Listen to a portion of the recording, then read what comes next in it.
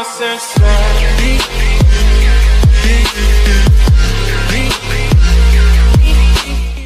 Antonio Echevarría, gobernador de Nayarit, informó que su estado está en bancarrota por deudas heredadas de administraciones anteriores, el gobierno está prácticamente tronado, quebrado, en bancarrota a tal grado que no tenemos ya en este momento para pagar la próxima quincena en el estado de Nayarit, apuntó Antonio Echevarría, gobernador de Nayarit.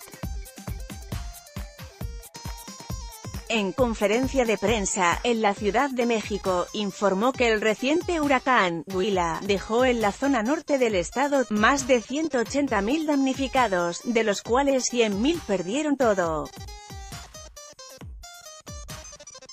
Se requieren para empezar a atender este problema, dijo, alrededor de 800 millones de pesos, dinero que no se tiene. Traemos una deuda de más de 10 mil millones de pesos, deuda a corto plazo, deuda a largo plazo de instituciones bancarias, deuda como lo dije al ISSST, al Infonavit, a varias instituciones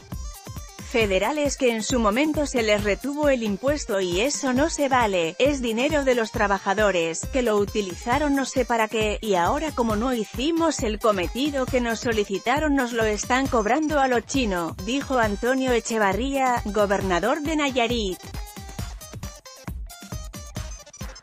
Informó que buscará una reunión con el presidente electo, Andrés Manuel López Obrador, para exponerle los problemas que enfrenta a su estado y la crisis económica en la que se encuentra.